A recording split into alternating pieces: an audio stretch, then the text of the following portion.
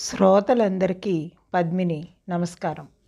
ఈరోజు మనం చెప్పుకోబోయే కథ పేరు ప్రహేళిక.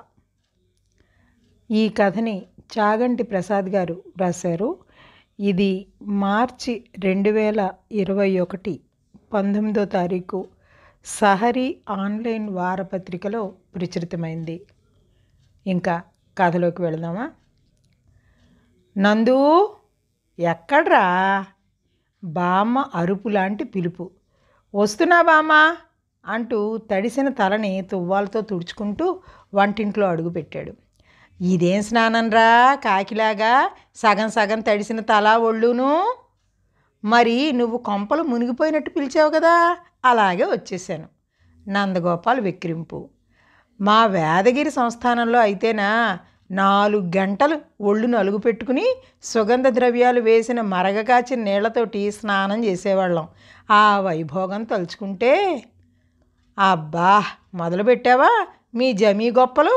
అంటూ చెవులు మూసుకున్నాడు నందు. ఇంతలో ఆవిడ టీవీగా వంటింట్లో ఇత్తడి అంచున్న పీట మీద కాలేసి అటక మీద ఉన్న ఆవకాయ జాడిని దింపింది. అబ్బబ్బా నేనున్నానుగా బామ్మ కాలు జారి పడతావు. అంటూ నందు వచ్చి అందుకున్నాడు. నందు కంచంలో నాలుగు ఇడ్లీలు పెట్టి పైన వెన్న కాచి నెయ్యేసి ఆవకాయ కారప్పొడిలో మరికాస్త నెయ్యి పోసింది. అయ్య బాబోయ్! ఎంత నెయ్యా?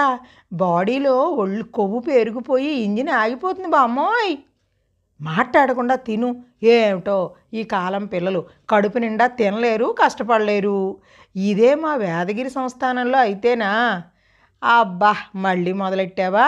బాబోయ్ టైం అయిపోతుంది ఆఫీస్కి. ఆపు బామ్మ రాత్రి చెప్పుదు కానీ తీరిగ్గా అప్పుడు మాట్లాడుకుందాం. ఇప్- అప్పటి వరకు హాయిగా మీ సంస్థానం గొప్పలు మన చుట్టుపక్కల వాళ్ళకి చెప్పుకుంటూ ఎంజాయ్ చేయి. ముడతలు పడ్డ తెల్లటి బొగ్గల మీద ముద్దు పెట్టుకుని బయటకు పరిగెత్తాడు నందు. ఆవిడ ఆనందంగా ముఖం తుడుచుకుని లోపలికి వెళ్ళింది. సాయంత్రం బాస్ పిలుపుతో ఆయన రూంలోకి వడి వడిగా నడిచాడు. చూడు నందు నువ్వు ఈ మధ్య స్పెషల్ న్యూస్ కవరేజ్లో వెనకపడ్డావు. ఎట్టి పరిస్థితుల్లోనూ ఈ వారం ఆదివారం అనుబంధంలో నీ ఆర్టికల్ ఉండాల్సిందే. దానికోసం నువ్వు మన రాష్ట్ర బార్డర్లో ఉన్న మహేంద్రగిరి వెళ్ళాలి. ఆ ఊర్లో ఎక్కువ మంది కిడ్నీ ఇన్ఫెక్షన్తో బాధపడుతున్నారని వార్తలు వస్తున్నాయి. అంతమంది ఆ రోగం బారిన ఎలా పడ్డారో అర్థం కాకుండా ఉంది. నువ్వు అది తెలుసుకోవాలి. మన పేపర్కి అది మంచి వార్త అవుతుంది. రేపే బయలుదేరు. Okay sir.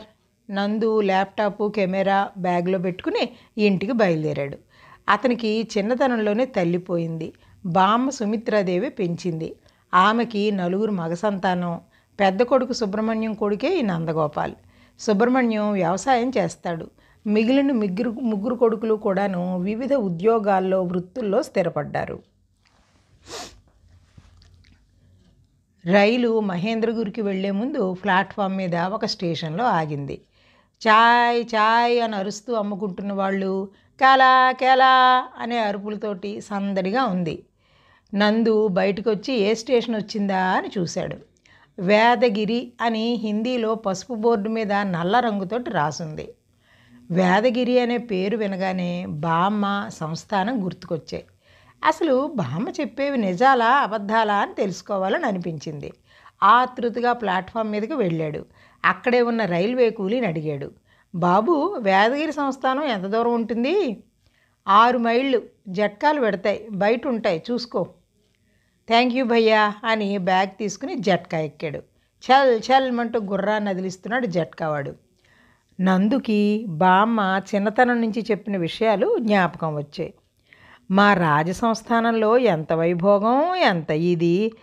రాజాగారు రావు బహదూర్ రంగారావు గారు అంటే చుట్టుపక్కల అన్ని గ్రామాల్లోనూ ఎంతో గౌరవం. ఆయనకి బ్రిటిష్ వాళ్ళు ఇచ్చిన బిరుదే రావు బహదూర్. ఆయన వేదగిరి గ్రామాన్ని చాలా అభివృద్ధి చేశారు. బోల్డ్ దాన ధర్మాలు చేసేవారు. అన్నీ నా చేతుల మీదుగానే చేయించేవారు. బడి సత్రం ఒకటేమిటి? అన్నీ నా పేరే పెట్టారు. తెలుసా? అలానా? అని బామ్మ చెప్పేది ఆశ్చర్యంగా వింటున్నారు ఎదిరింటి పార్వతమ్మ పక్కింటి విశాలాక్షిను. ఆవిడ చెప్పిన విషయాలన్నీ విని అబ్బా మీరు జమీందారులు అన్నమాట కుడికాలు మడత పెట్టి ఎడంకాలు మీద వేసుకుని అవును మరి అని గర్వంగా అంది బామ్మ. ఇద్దరు బామ్మకి విసినకర్రతో విసురుతూ ఆవిడ చెప్పిన విశేషాలు నోళ్ళు అప్పగించి వింటున్నారు. ఎన్నో ఏళ్ళ క్రితం వేదగిరి నుంచి ఇప్పుడున్న ఊరికి వచ్చేసామని జమీందారుల వంశస్థులమని రాణిగా బతికేనని తన ఊరి గొప్పలు అస్తమానం అందరికీ చెప్పి ఊదరగొడుతూ ఉంటుంది. అప్పుడు నందు పక్క గదిలో పదో తరగతి పరీక్షలకి ప్రిపేర్ అవుతున్నాడు. బామ్మ చెప్పిన విషయాలు అతని బుర్రలో నాటుకుపోయాయి. బామ్మ నువ్వు అంత డబ్బున్న దానివైతే మనం ఇలా డబ్బులు లేక ఎందుకు ఈ చిన్న కొంపలో పడున్నాము? ఏం చేస్తాను నాయన? అంతా కరిగిపోయింది అని నిట్టూర్చింది. సార్ ఊరు వచ్చిందయ్యా అన్న జట్కా అతని పిలుపుతో ఉలిక్కిపడ్డాడు నందు. బండి దిగి అతనికి డబ్బులు చెల్లించాడు. ముందు ఒకసారి ఊరు చూద్దామని బయలుదేరాడు. అక్కడ ఎవరిని వాకపు చేస్తే బామ్మకి సంబంధించిన వారి గురించి తెలుస్తుందా అని నడుచుకుంటూ వెళుతున్నాడు. విశాలమైన వీధులు క్రమబద్ధంగా నిర్మించిన పెద్ద పెద్ద అరుగులున్న ఇళ్ళు కనపడ్డాయి. మధ్యాహ్నం ఎండ తీవ్రంగా ఉండడం వల్ల జనసంచారం లేదు. అప్పుడప్పుడు నేనున్నానని గాలి మాత్రం వీస్తోంది. ఊరికి ఉత్తరాన కొండలు పచ్చగా కనిపిస్తున్నాయి. బ్యాగ్లోంచి కెమెరా తీసి ఫోటోలు తీశాడు. ఒక గంట నడిచాడు. అలసటగా అనిపించి ఒక ఇంటి అరుగు మీద కూలబడ్డాడు. బ్యాగ్లోంచి బాటిల్ తీసి నీళ్ళు తాగాడు. సూర్యుడు నడినెత్తి మీదకి వచ్చాడు పొద్దున్న రైలులో తిన్న టిఫిన్ అరిగిపోయి ఆకలితోటి కడుపు నకనకలాడుతోంది. ఇంతలో ఆ ఇంటి తలుపు నెమ్మదిగా తెరుచుకుని ఒక అతను వచ్చాడు. ముఖం మీద ముడతలు అతని వయసు ఎనభై తొంభై మధ్య ఉంటాయని సూచిస్తున్నాయి. తెల్లని పంచె పైన తెల్ల జుబ్బా వేసుకుని నుదుట విభూతి కుంకుమ ధరించి ఉన్నాడు. ఎవరు కావాలి బాబు? మరాఠీ తెలుగు కలిపిన యాసలో వణుకుతున్న గొంతుతో అడిగాడు. నా పేరు నందగోపాల్ జర్నలిస్ట్ని. ఈ ఊరి జమీందార్ గారి మీద ఆర్టికల్ రాయాలని వచ్చానండి. కాస్త సాయం చేయగలరా? అరవై ఏళ్ళ నుండి ఎవరూ పట్టించుకొని ఈ ఊరు ఇప్పుడు మీ పేపర్ వాళ్ళకి అవసరం వచ్చిందా? అని కఠినంగా అడిగాడు. ఆ మాటకి కంగు తిన నందు సార్ నేను ఒక చిన్న ఉద్యోగినండి. ఏదో ఆర్టికల్ రాసివ్వకపోతే నా ఉద్యోగానికి ఇబ్బంది వస్తుంది అందుకని అని నసిగాడు. అతను ఏమీ అనలేక సర్లే ఇంతకీ భోజనం చేశారా? పర్వాలేదండి రైల్లో టిఫిన్ చేశాను. మాటల్లో అతని పేరు రామ్ జోషి అని పూర్వం ఫోటో స్టూడియో ఉండేదని తెలిసింది. వార్ధక్యం వల్ల అది ఇప్పుడు మూసేసట్ట లోపలికి రమ్మనమని పిలిచాడు. వద్దన్నా వినకుండా ఒక ఆకులో అటుకుల ఉప్మా తెచ్చి చేతిలో పెట్టాడు. అది తింటున్న నందుకి హాల్లో గోడ మీద చాలా పాతగా బ్లాక్ అండ్ వైట్లో ఉన్న ఫోటోలు కనబడ్డాయి. అందులో ఒక ఫోటో తెలిసిన ముఖంలా కనిపించి తేరీపార చూశాడు. బామ్మలా ఉందే అనుకున్నాడు. అవును వయసులో ఉన్న బామ్మే. రాణిగా బతికి ఈ ఊరికి ఇంత సేవ చేసిన బామ్మ ఎంత గొప్పది. అందుకే ఫోటో పెట్టుకోవడంలో ఆశ్చర్యం లేదు అనుకున్నాడు. మీ జమీందార్ గారి భార్య పేరు ఏమిటండి? జోషి గారు రాణి సుమిత్రాదేవి. నందుకి ఆనందం వేసింది. బామ్మ చెప్పిందంతా నిజమేనని రూఢయ్యింది. తాము రాజకుటుంబీకులం అనుకోగానే అతని ఛాతీ పొంగింది గర్వంగాను. కానీ ఆ విషయం అతనికి చెప్పలేదు. కిర్రు కిర్రుమంటూ చప్పుడు చేస్తున్న చెప్పులు వేసుకుని చేతికర్రతో వడి వడిగా నడుస్తున్నాడు రామ్ జోషి. అతని వయసులో ఆ నడక వేగం చూసి నందు ఆశ్చర్యపోయాడు. జమీందార్ గారి కోటను చూపించాడు. లోపలికి వెళ్ళారు. ఒక పెద్ద హాలు లోపల నుంచి మెట్లు పైన గదులు అన్ని తాళాలు పెట్టేసి ఉన్నాయి బయట మిగిలిన ప్రదేశంలో తాలూకా ఆఫీసు కోర్టు ఉన్నాయి. అదే కాంపౌండ్లో స్కూల్ కూడా ఉంది. దాని మీద రాణి సుమిత్రాదేవి ప్రాథమిక పాఠశాల అని రాసి ఉంది. అలాగే నీరు నిల్వ చేసే రాతితో కట్టిన పెద్ద ట్యాంకు మీద చాలా నిర్మాణాల మీద తన బామ్మ పేరు చదివి ఆనందంతో ఉక్కిరి బిక్కిరి అయిపోయాడు. శరీరం గర్వంతో ఉప్పొంగిపోయింది. ఆ రోజుల్లో కట్టిన కట్టడాలు కాబట్టి ఇలా బలంగా ఉన్నాయి బాబు. మా జమీందారు గారి దాతృత్వం వల్ల ప్రజోపయోగమైన పనులు జరిగాయి. మహారాణి గారు ఇంకా ఉత్తమరాలు. ఆ మహాతల్లి ప్రోద్బలం వల్ల ఊరు బాగుపడింది. మరి ఆయనకి సంబంధించిన కుటుంబీకులు ఎవరు లేరా అండి? ఆయన చివరి రోజుల్లో చాలా ఇబ్బందులు పడి మరణించారు. వారి సంతతి వివరాలు మాకెవరికీ తెలియవు. కొంతమంది విదేశాల్లో ఉన్నారని పిల్లలు ఎవరూ ఇక్కడికి రావడానికి ఇష్టపడలేదని కథలు కథలుగా చెప్పుకుంటారు బాబు. మీకు కూడా తెలీదా? నేను మధ్యలో రంగు నడిపోయాను తిరిగి వచ్చేసరికి ఆయన పోయారు. ఇద్దరు ఊరంతా తిరిగారు. ఎక్కడ చూసినా పూర్వకాలపు రాజులు పరిపాలించినట్టు ప్రాచీన ఛాయలు కనిపించాయి. అలా అన్నీ చూసుకుంటూ నాలుగు రోడ్ల కూడల వద్ద ఆగారు. కొందరు పిల్లలు క్రికెట్ ఆడుతూ కనిపించారు. నందు చేతిలో కెమెరా చూడగానే పిల్లలు దానికి ఆసక్తిగా చూస్తూ దగ్గరికి వచ్చి అన్నా అన్న ఓ ఫోటో తీయవా? అని బతిమిలాడారు. వాళ్ళని చూసి మిగిలిన వాళ్ళు కూడా వెంటపడ్డారు. రామ్ జోషి వాళ్ళని మరాఠీలో తిట్టాడు. వాళ్ళు వినలేదు. పోన్లేండి పాపం అందరికీ కలిపి ఒక ఫోటో తీస్తాను. అని అక్కడ నాలుగు రోడ్ల కూడలి మధ్యలో ఉన్న రావ్ బహదూర్ రంగారావు శిలా విగ్రహం ముందు నిలబెట్టి ఫోటో తీశాడు. అన్నా ఫోటో ఎప్పుడు ఇస్తావు నేను మా ఊరు వెళ్ళాక కాపీలు రామ్జోషి గారికి పంపుతానురా అని సర్ది చెప్పాడు. ఏదో సందేహం వచ్చి శిలా విగ్రహం కేసు చూసిన నందగోపాల్ దిగ్భ్రాంతి చెందాడు. తన కళ్ళు తానే నమ్మలేక దగ్గరికి వెళ్ళి చూశాడు. విగ్రహం నిలబెట్టిన దిమ్మ మీద రంగారావు గారి వివరాలతో పాటు భార్య కీర్తిశేషురాలు రాణి సుమిత్రాదేవి జననం పంతొమ్మిది వందల పదకొండు మరణం పంతొమ్మిది వందల ఎనభై అని చెక్కబడి ఉంది. అది చూడగానే మనిషి నీరు కారిపోయాడు. అతనికి అర్థం కాలేదు. నిర్ధారణ కోసం మళ్ళీ దగ్గరికి వెళ్ళి చూశాడు. తల దిమ్మెక్కిపోయింది.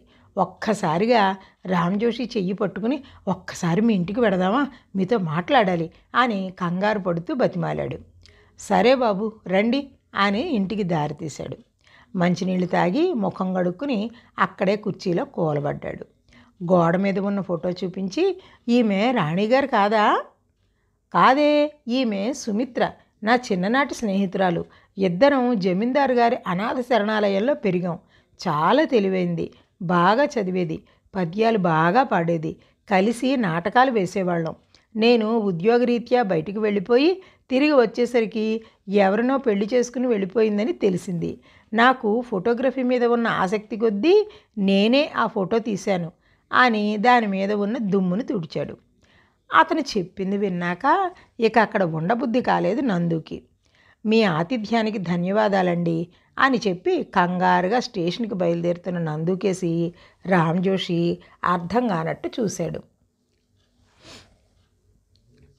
ముఖం వడిలిపోయి జ్వరం వచ్చిన వాడిలా ఇంటికి తిరిగి వచ్చిన నందుని హాల్లో కూర్చున్న బామ్మ చూసి గబాలను లేచి నందు అలా ఉన్నావే?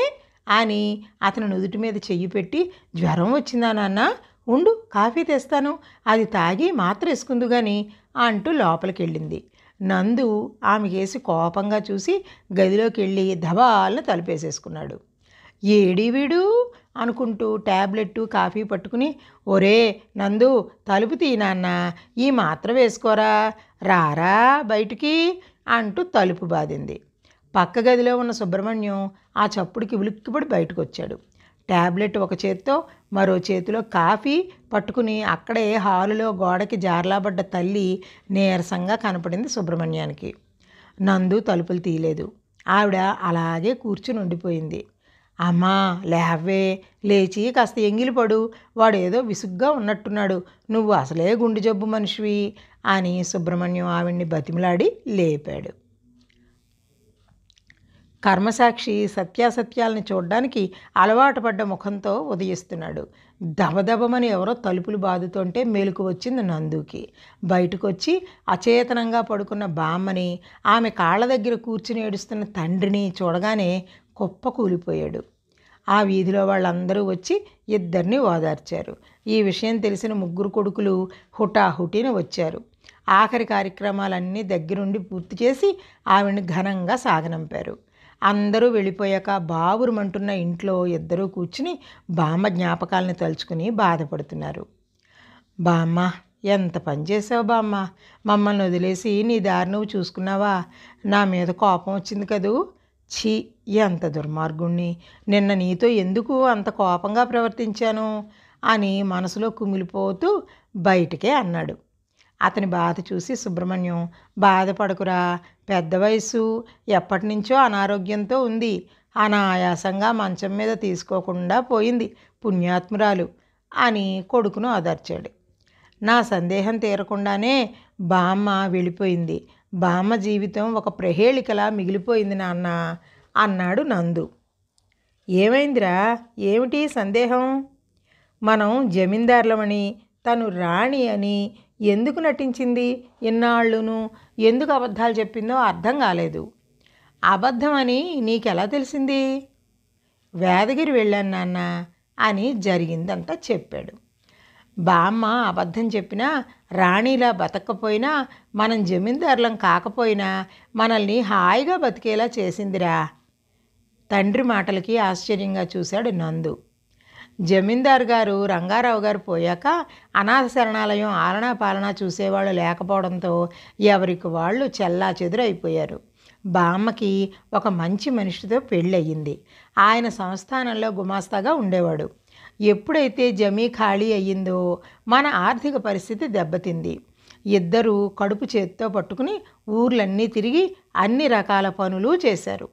దురదృష్టవశాత్తు తాతగారికి తీవ్రమైన జ్వరం వచ్చి మరణించారు. బామ్మకి మా నలుగురిని పెంచడం చాలా కష్టతరమైంది. ఒంటరి ఆడది కనుక తనని తాను రక్షించుకోవడానికి బతికి చెడ్డవాళ్ళమని జమీందారు గారి సంస్థానం నుంచి వచ్చామని చెప్పి అవతల వాళ్ళ నుంచి రక్షణ గౌరవం పొందడానికి ఒక చిన్న అబద్ధం ఆడేది. యాదృచ్ఛికంగా రాణిగారి పేరు బామ్మ పేరు ఒకటి అవడం వల్ల తనను ఆవిడిలా ఊహించుకుంటూ నాటకాలు వేయడం వల్ల బామ్మకి అదే భ్రమ మెదడులో ఉండిపోయింది. వయసు రీత్యా ఆ డెల్యూజన్ అనే వ్యాధి ఈ మధ్య మరీ ఎక్కువైపోయింది. నేను కూడా ఏమీ చేయలేకపోయాను. బతికినన్నాళ్ళు ఆ ఊహల్లోనే ఉంటే ప్రశాంతంగా ఉంటుందని నేను అడ్డు చెప్పలేదు. ఆ నిజం నీకు కూడా చెప్పలేదు. అమ్మ పోయిన దగ్గర నుంచి నిన్ను తల్లిలా పెంచిందిరా. మా నలుగురిని దేశానికి ఉపయోగపడేలా నన్ను రైతుగా మిగిలిన వాళ్ళని సైనికుడు డాక్టరు ఇంజనీరుగా తయారు చేసింది. ఇది కూడా అక్కడ రాణిగారు చేసిన ప్రజాసేవ లాంటిదే కదరా. ఇంతకన్నా ఒక మాతృమూర్తి ఏం పంచగలదు? తన రక్తమాంసాలు తప్ప అని నిట్టూర్చాడు. నందుకి తండ్రి చెప్పిన నిజాలు విన్నాక బామ్మ చెప్పింది అబద్ధంగా తోచలేదు. ఆమెకి నివాళిని అర్పించడానికి రేపటికి ఒక కొత్త న్యూస్ ఆర్టికల్ రాయడానికి సంసిద్ధమయ్యాడు నందగోపాల్.